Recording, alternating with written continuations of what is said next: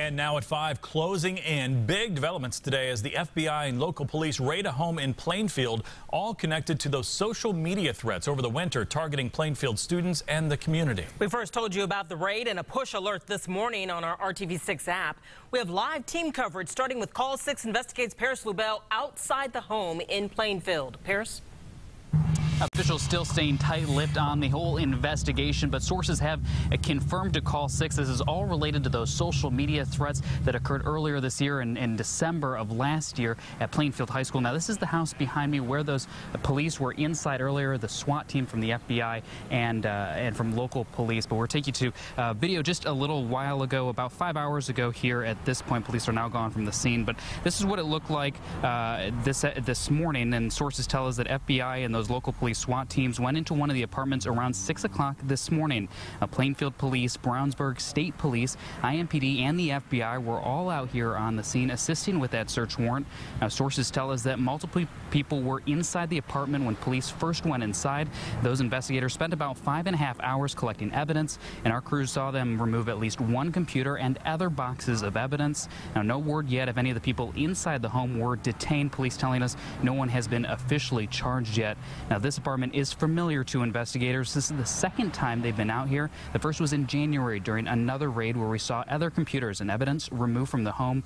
And now back here live, we're also finding out that one of the people inside the apartment they went into was a Plainfield High School student and had a uh, and had a restraining order filed against him by another student there at the school. Now that happened all in November. Court records show that he was harassing a female student and sending threatening text messages. Uh, we're going to continue talking to our sources and bring you the latest information just as soon as we have it. For now, reporting live from Plainfield, Paris Lewbel, RTV6. Continuing our team coverage in Hendricks County, today's raid has many in the community wondering if this is the beginning of the end in this months-long saga.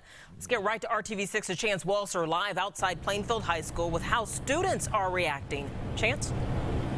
Students I spoke with say they can't wait for this case to be closed. They've been forced to make a lot of adjustments, especially with security the second part of the school year, and they really just want things to go back to normal. One of those things, as a precaution, school administrators canceled some class time because of these threats. Students have also been issued some clear backpacks as an added security measure while they're at school.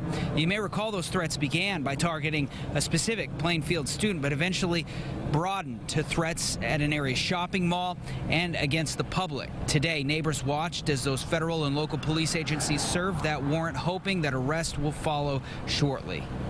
I heard a couple students talking about it in class and whatnots, and I think it's good. I just always thought he was overseas because nothing else really happened with the story. I hope they put him in jail for what he deserves. You know, I, I think he deserves what he gets. He's know what he's doing.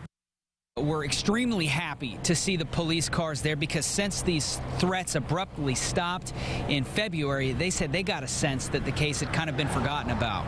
Live in Plainfield, Chance Walser, RTV6.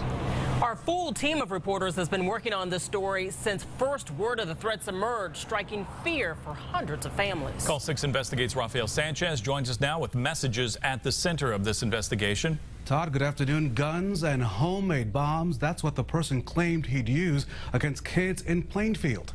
And for the person who's caused all of this hysteria, law enforcement has a pair of handcuffs on standby. Plainfield's nightmare may end at the corners of Elm and Avon. After several months of living with death threats, the presence of local police and the FBI may bring their investigation to a close.